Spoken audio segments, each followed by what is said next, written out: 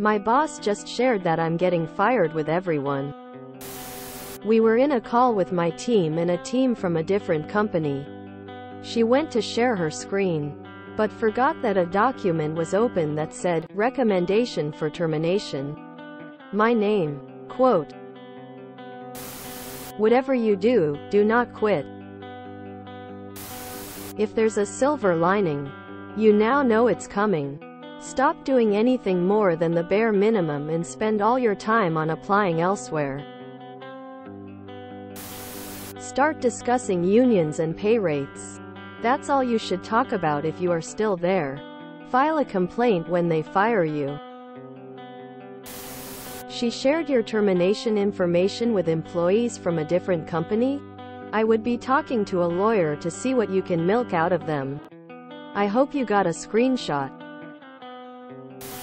You got a head start on looking for a new job. OMG. That is grossly unprofessional. Time to hid the baby shrimp in the heating ducts. Condolences. Good luck. Update. I called my boss right after to confront her on what I saw. She claims HR is making her fill it out because I don't go to the office three days a week like I'm supposed to. I do. There is also some component about job performance. But it honestly doesn't sound right to me. I spent today making a document of all the work I've done over the past month to improve our team.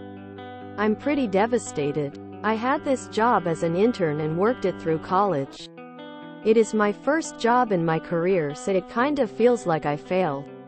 Rationally I know this is an unlawful termination. But I know there's nothing I can do about it.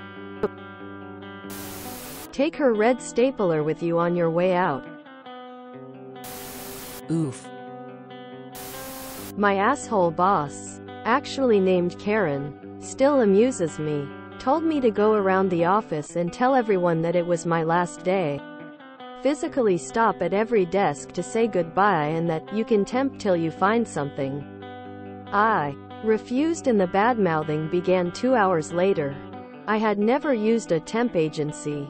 I applied directly through HR from a friend. The HR person left before she was fired.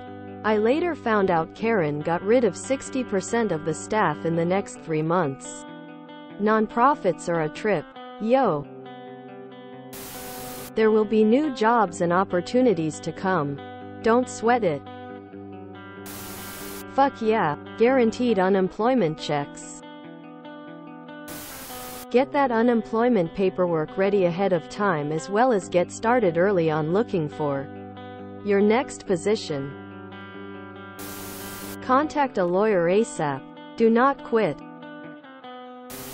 Way if it wasn't an accident but wanted to give you a head start without the awkward talk. Do not quit. If you have any PTO you will lose. Use it starting now. I personally wouldn't answer any phone calls from them until all your time is used. I wouldn't communicate with them in any way. Use the time to apply for new jobs and interview. I would take this as a blessing in disguise if you get severance. This gives you a good opportunity to look for a job in advance while still employed.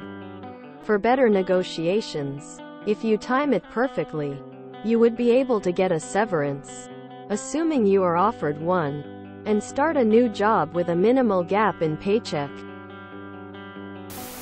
Simpson, Homer, that is all. If you enjoyed this video, please check out our playlists full of similar content. Epic Epicaricast is like doom scrolling for your ears. Please like, share, and subscribe.